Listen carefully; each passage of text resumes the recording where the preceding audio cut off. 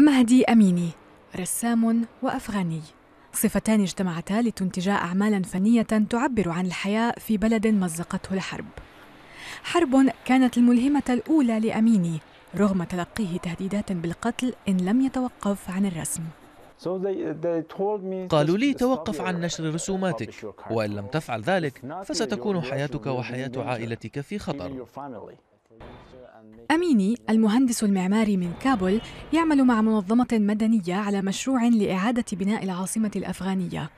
وفي وقت فراغه يواظب على الرسم مشددا على أن الرسم وسيلة فعالة لنشر الأفكار في بلد بلغت نسبة الأمية فيه 74% وهو على عكس الكثير من الفنانين لا يجد صعوبة في استلهام أفكاره التي يمده بها الوضع المضطرب في بلاده. لكن الصعوبة تكمن في إيجاد وسيلة إعلام توافق على نشر رسومه فحتى الآن نشرت من رسوماته اليومية أربع فقط. رقم لم يكسر عزيمة أميني الذي نظم أخيرا معرضا لنشر رسوماته في كابول.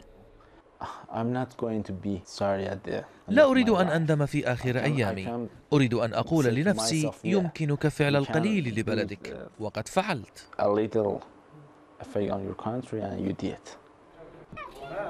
روح يحييه عليها زوار المعرض ويتمنى هو نشرها بينهم جميعا.